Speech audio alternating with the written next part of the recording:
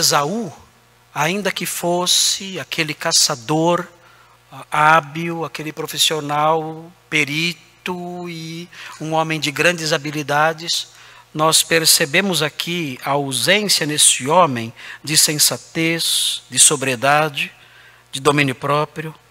Ele se deixa levar pelos seus desejos corporais. É isso que domina aqui. E ele mostra nesse momento, ele mostra nesse momento que os seus valores são diferentes dos valores de Jacó.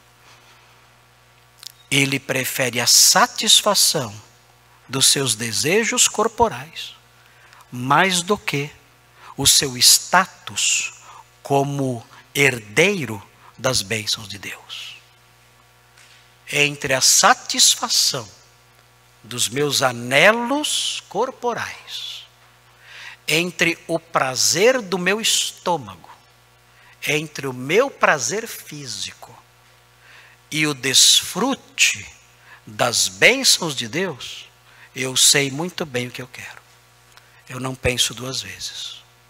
Entre uma coisa e outra, eu já tenho a minha escolha certa. Eu escolho o prato de lentilhas. Esses são os valores de Esaú.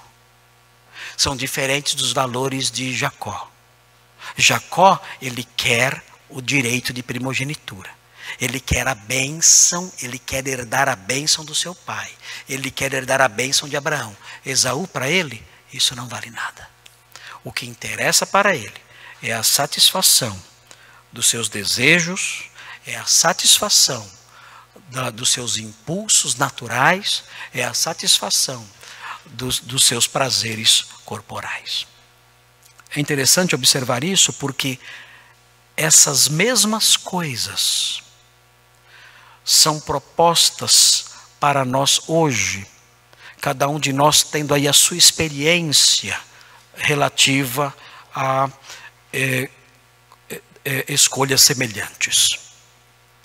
Muita gente, homens, mulheres, moços, moças, jogam fora valores preciosíssimos, valores que são verdadeiras bênçãos de Deus, jogam fora por um prato de lentilhas.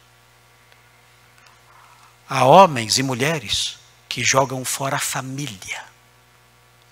Jogam a família na lata do lixo. Jogam a bênção que é a família na lata do lixo por um prato de lentilhas. Por um prazer transitório, temporário.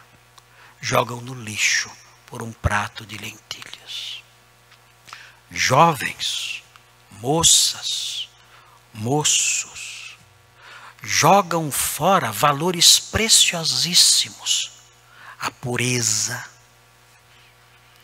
a saúde, a sobriedade, a honestidade, o caráter, jogam fora essas coisas, essas bênçãos que têm um tamanho imensurável, jogam tudo isso no lixo por um prato de lentilhas para satisfação de desejos temporários, de desejos corporais.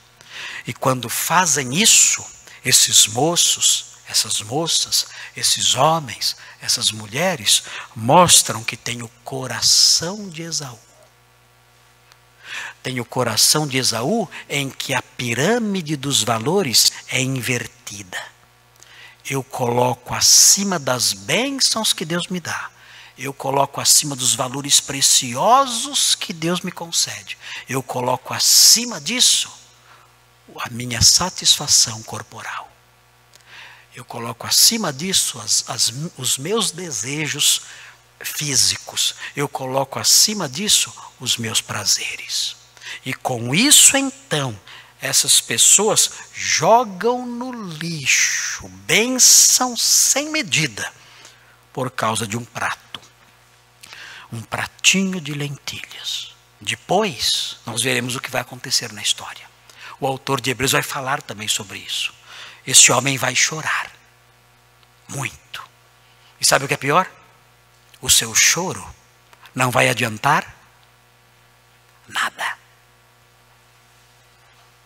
Essa é a parte mais triste da história de Esaú. Ele se arrependeu. Esaú se arrependeu. Mas o seu arrependimento não mudou absolutamente nada.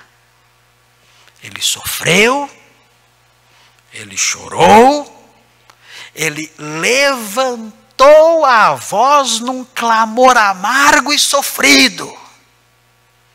Mas o seu choro não mudou absolutamente nada.